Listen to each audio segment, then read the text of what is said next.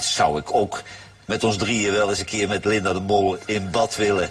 En, eh en had, had, zij, had, staat, staat zij ook in de blote kont, Vigo? Staat zij ook in de blote kont? Eh, ik dacht het niet. Ik dacht het niet. Het was wel leuk geweest eh, als ze gewoon spontaan zo'n hele grote harde kutscheet gelaten had. hè?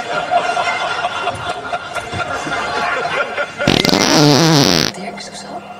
Ik zou zeggen, maak een beetje uit. Ik ben ervaringsdeskundige. Ja, je maakt het vaak mee thuis of niet? Ja, geregeld.